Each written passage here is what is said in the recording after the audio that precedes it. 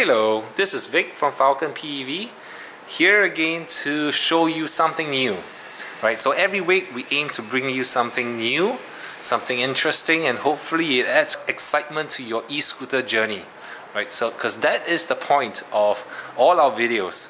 Our ZERO 10X limited version and it's got a it's got an unknown feature. It's relatively unknown in the sense that we don't really promote it but we are going to show you how to program our Bluetooth controllers.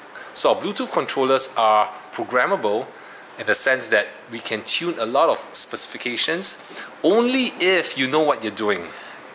Okay, so we don't encourage you to tune because all the factory presets are in its optimal form. All the all the configuration numbers upon delivery to you are already set to its optimal performance parameters. But if you want to play around and you know what you're doing, you and you have experience doing it, hey, by all means, just watch this video and play around with it. Okay, just make sure you know how to revert to original parameters or settings if something wrong happens. Okay, so without spending too much time explaining, let's just show you. Okay, so you, for the 2021 versions, only for the 2021 versions, I can't say for the old versions that were delivered in 2020, but for the 2021 versions, we will have these two programming buttons that we just installed. Okay, so you may ask, so what's the point of me if everything is preset by the factory? What's the point of us you know, having to change any configurations? Now, of course, there are certain situations like if you are planning to get more boost because you want to do a drag race you can actually tune it in such a way that you can get more boost off the starting line um, just to get ahead right? But for normal riding conditions or for off-road conditions you don't want that boost right? You want a more consistent current discharge. You want a longer term current discharge to preserve your battery life. Now then you set it to the uh, preset, the factory preset settings, and that would last you for a much longer time as compared to say if you want to get the maximum boost, maximum top, top speed, uh, maximum torque. So those are the different conditions where you might want to consider uh, changing the parameters only if you know what you're doing. Otherwise, let's get into the nuts and bolts of showing you how to change your parameters. Okay so we have the front two buttons here on the side in what was previously your charging port right? This charging port holes have been changed to programming button holes where the left the right side button is controls your front controller and the left side button controls your rear controller right? So if you depress it you're activating it and putting your controller into a programming mode which means it doesn't it will not run okay? And if you deactivate the programming mode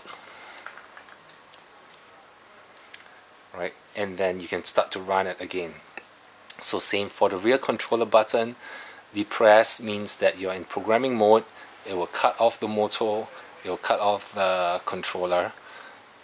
And to deactivate programming mode and go back into run mode that's how you do it so we're going to show you how to program with the app. Okay, the first step of course is to start your programming by turning it on. Right? So you will have a Android on Apple because that's way that's the way the world works. It limits your choices to two. So with that two choices, I ah, can't. The screen is too bright. I can't focus on anything. Is there a screen adjustment? Yeah, there you go. Thank you very much. Okay, download this app here called the MQCon. That is our controller app. Okay, they have it for both Android and Apple, so no worries. So App Store or Play Store. Okay, so you will come to this screen. Remember we we have already depressed this uh, programming button right here. Let me focus it. Okay, you can see that the rear button program programming device is deactivated because it's out and the front controller programming button is depressed in Alright, let's go to the back to the app. Hit the Bluetooth device. Alright, scan for Bluetooth. But you gotta turn on your Bluetooth settings. It's on, okay, because that's the indication. Where is it? Ah, there you go. Okay, let's swipe back up and scan. Okay, if it doesn't scan, if it doesn't get it, that means so you have to turn on your machine first. Okay, and wait a while for it to wait for the controllers to boot up in a sense, and you try it again. There you go. You have two choices here. All right, just uh, click one. Okay, it should bring you into the programming manual menu. Uh, no, that's not a good state. You can't have restart state. Let's try it again. Oh wait, hold on. I can adjust my it's in a good state when it says normal run. Okay, flux enabled. Alright, let's go into the parameters. Now these are just a show of the normal parameters that your controllers are operating at. Right, you don't have to worry too much. Now if you really want to go into the nuts and bolts, okay, now there's the input output which is basically your current control, right? That's where you control all your different current functions, uh, like your maximum current discharge, your over your boost current, which we never use this, so ignore this, right? The max phase current, that means the max current that gets discharged into your motor, and the protected phase current, this is a protection parameter, right? Okay, so and then there's temperature settings. What temperature do you want the controllers to cut off at? Okay, right now they are not set to anything. Uh, that's fine because uh, we don't foresee that the controllers will overheat with this current configuration. Okay, the function which is your flux weakening, this is basically it allows you to get additional top speed and sacrifice a little bit of torque, right? Upfront torque for more top speed or else if you turn it off then you have more torque and a slightly lower top speed. There's the regen current which is enabled.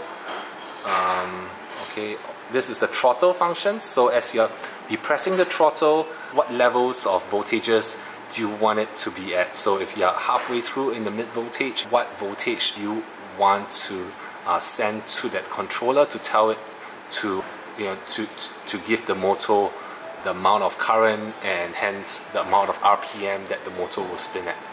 Okay, this motor you can limit the, the pole pairs of the motor. So all these are basically the functions that you can play with. Okay so let's go into the diagnostics okay now this test you don't have to touch anything here because your controller should be already pre-configured and tuned to the motors that you're running on now you only have to use this if let's say A you change controllers B you change motors these are only two cases where you need to get into this test page, right? Now, to see whether it's normal, right, your offset angle should be about 122. Okay, it's about 122, so that's right. And your run mode should be in normal operation, so that means that your controllers and motors are paired correctly. Okay, you don't have to worry too much about the motor parameter nor the given current. Okay, let's get out of here. For this dashboard, you can look at the error type make sure it's fault free right there's no fault coming from the controller otherwise that's it if you have any questions drop us a comment we would love to hear from you. Ask us any questions about what we just showed you in this video and we'll be sure to respond as quickly as possible. Okay if not check out our other videos uh, to do with the ZERO 10X Limited because love for you to share and to subscribe to our channel